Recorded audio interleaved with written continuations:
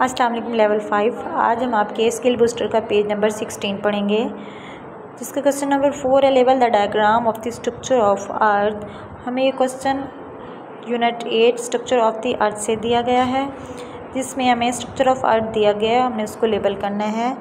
अर्थ का सबसे जो आउटर स्ट्रक्चर होता है, उसको क्रस्ट कहते हैं। क्रस्ट के बाद जो सेकेंड लेयर है, उसको मेंटल कहते हैं।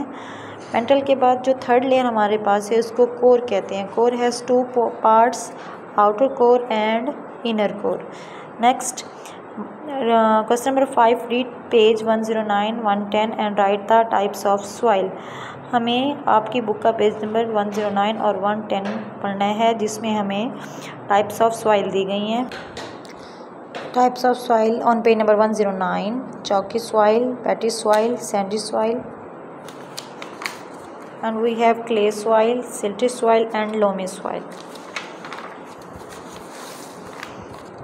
There are six different types of soil based on texture each with its own characteristics. Chalky soil it has low water content and high lime content. Chalky soil में water content low होता है.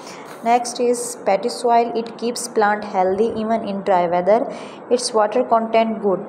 Peaty soil plant को healthy रखती है even that dry condition में इसका water content अच्छा होता है sandy soil it contain small rocks and mineral particle it is poor in retaining water it is not suitable for plant growth sandy soil रेत वाली ही होती है इसकी वजह से प्लांट की ग्रोथ कम होती है। इसमें next is clay soil the particles are lightly pack together clay is the must heaviest type of soil सबसे heaviest type of soil clay soil है। Silty soil it is extremely fertile स्टीमली soil is silty soil is suitable for agriculture use silty soil सबसे ज़्यादा best है agriculture use के लिए। Loamy soil it is one of the perfect soil type because it is a mixture of sand clay silt and even some humus सबसे best clay जो हमारे पास है, वो लोमी सॉइल है, क्योंकि ये तमाम सॉइल्स का मिक्सचर है इवन दैट इसमें ह्यूमस भी प्रेजेंट होता है।